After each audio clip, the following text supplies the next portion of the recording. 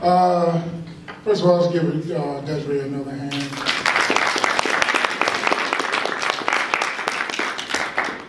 Um, I'm going to come down a little lower. Uh, we are very excited. Um, the Nat Turner team, we've been able to do some tremendous things through the grace of God uh, without any funding.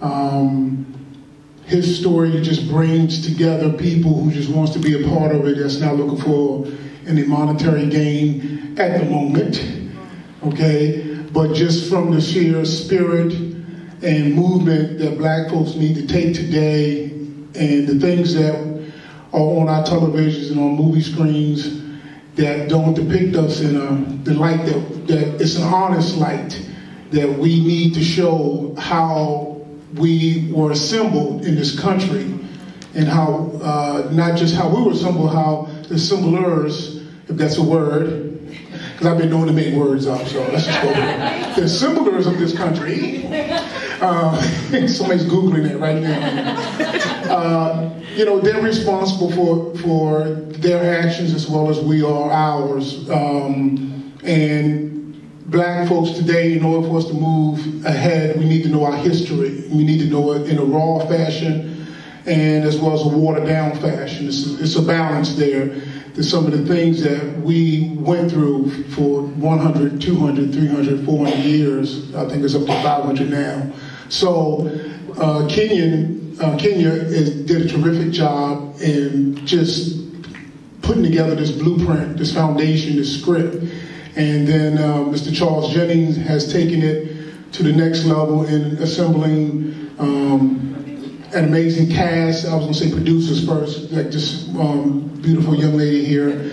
Uh, I'm to let her speak in a second, but right now it's my turn.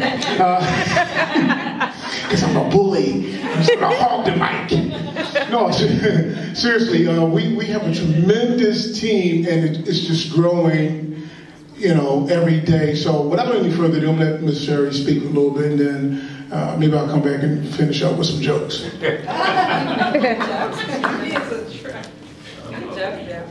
Um, we're very excited about the Nat Turner story, and again, we thank Desreta for having us come out. And, and, and, yes.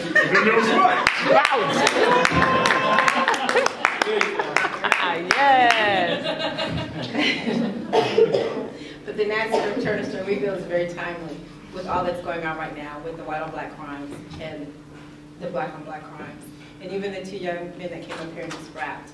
Um, we're trying to bring that conscious level back to our, our youth because right now it's missing. And I know a lot of times I was growing up and I watched the movie Roots and other movies that depicted slavery, that we all talked about, well, if it was me, I would never be a slave.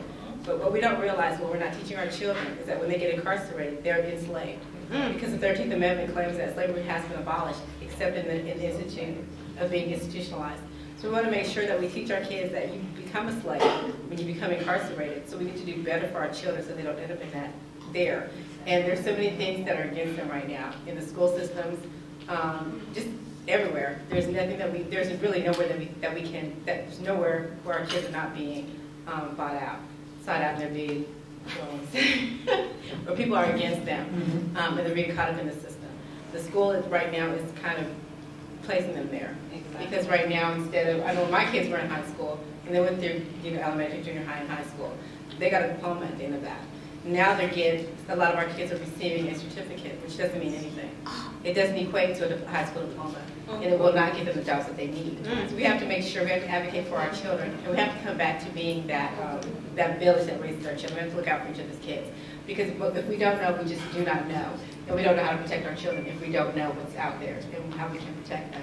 So the Nat Turner story kind of gives them a hero, somebody to look after, somebody to look up to and to um, you know, put on that pedestal.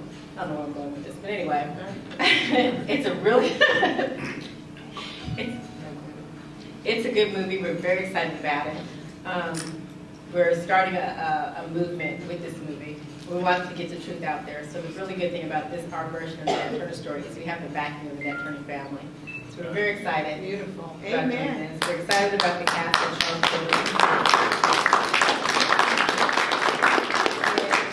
We're excited about the cast that, that um, Charles actually pulled together. And again, he did this without, we don't have funding in place yet, but these actors came on board without, giving, without an offer we're able to get Blair Underwood. We have, um, who else do we have? Blair Underwood, we have Lester Speight. Gotta get some money first. We